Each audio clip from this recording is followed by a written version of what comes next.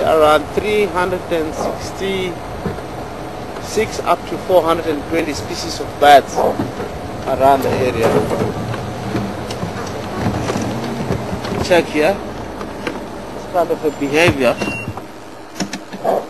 You hear that it might be a leopard that is walking past here. So let us try to find out.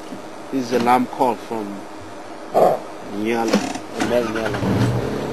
With my experience, I know it can be pursued to be one of the species that is more dangerous.